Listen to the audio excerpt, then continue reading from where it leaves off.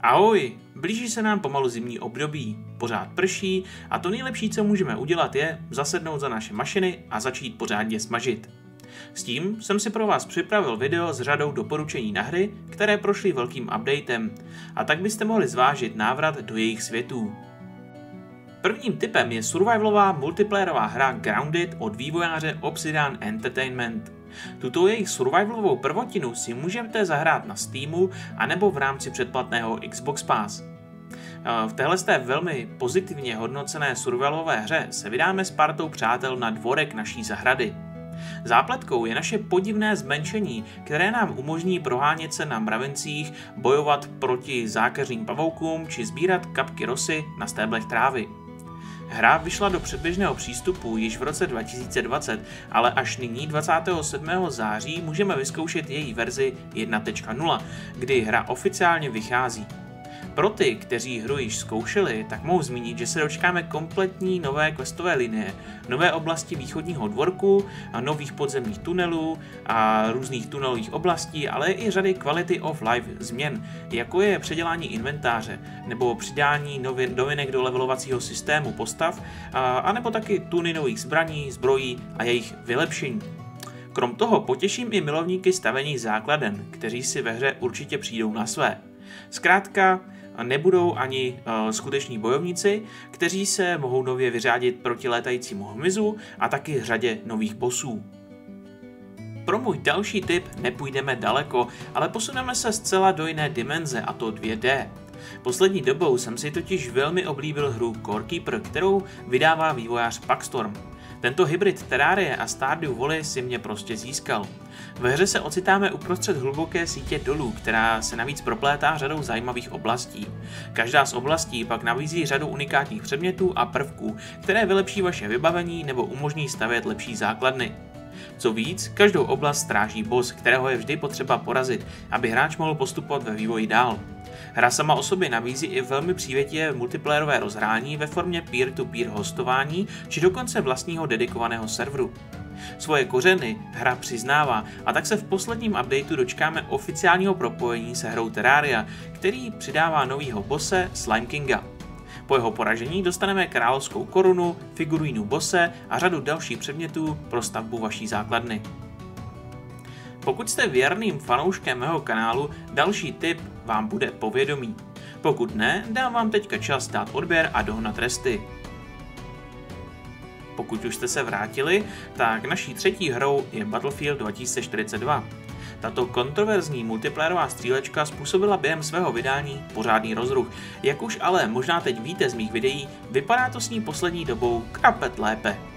26. září byl do hry vydán opravdu velký update. Ten přidává přepracovanou mapu, tři nové zbraně, ale i třeba nové vozidlo.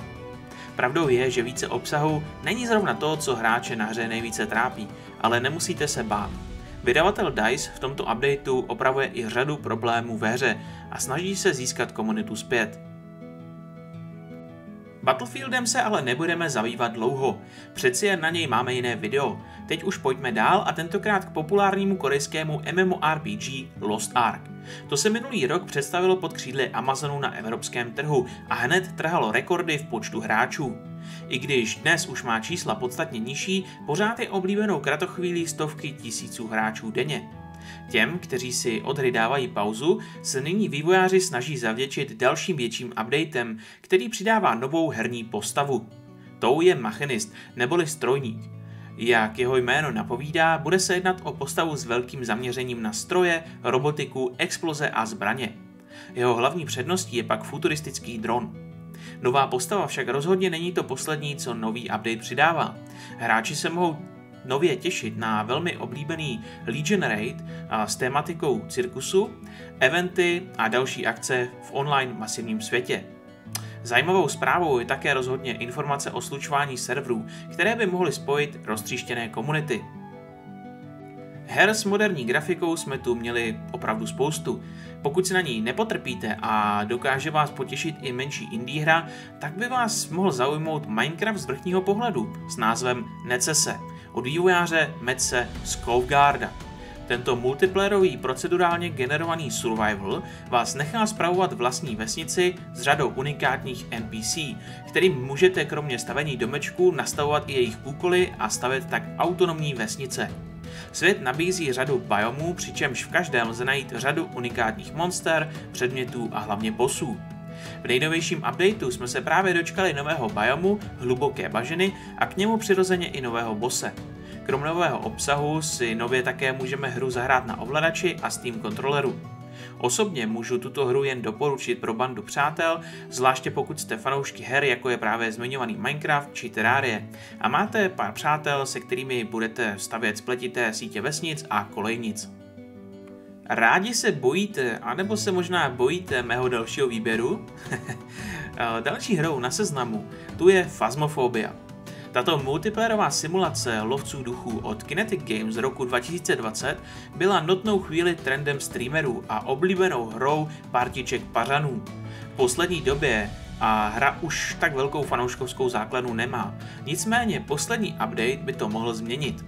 Nový update totiž do hry konečně přidává volitelnou obtížnost hry a mimo jiné i nové lokace, ve kterých si duchařinu můžeme užívat. Nové lokace máme celkem tři a v nich můžeme potkat nově upravené duchy a nebo do terénu vyrazit s novým vybavením díky mechanice loadoutů. Tak, nakonec tu máme ještě jeden malý bonusový poslední tip a tím je update do aktuálně celkem populárního simulátoru ježdění automobilem The Long Drive. Ten možná právě díky aktuální popularitě dostal update, který přidává nové auto, motor, zbraň, ale i třeba možnost hrát za ženský charakter. Hratelnostně se hra příliš nezměnila a multiplayer je stále jenom v rámci beta verze. I ten však pro srandu stojí za hřích a s partou ho rádi doporučíme. Hrajeme tuhle hru občas na mém streamu, takže neváhejte a klidně někdy dojdete, protože odkaz máte v popisku videa. Tak jo, to už je pro dnešek všechno. Já doufám, že jsem vás třeba trošku inspiroval a budu moc rád za váš odběr a like. Mějte se pěkně a uvidíme se u dalšího videa. Čego?